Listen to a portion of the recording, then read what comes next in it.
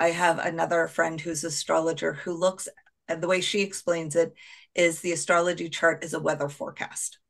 Yeah. And that's beautiful.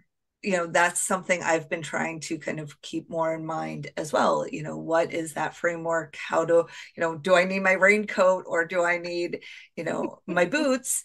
Um, and also learning to kind of release the expectation of what it's going to look like as uh, we were talking before we recorded you know you foresaw something in my chart about me getting busy and i was like oh yes it's going to be getting busy in the way i want it to be and it, it has totally taken a left turn on me in the way i'm sure it's supposed to.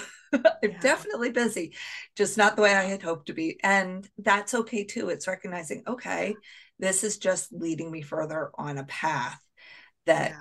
you know um, and that's the, one of the fun things you know in learning and trusting what comes through in an astrology chart um, yeah. yeah one thing about well both evolutionary astrology and esoteric astrology is that where i like to look is what what can i learn and what is the real opportunity that i have here and yes there is there is the gloom and doom and you know you're going to be busy it might not be in this i don't go there. I am all about what can we learn?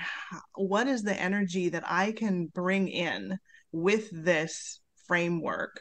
And how can i evolve more grow more enlighten more?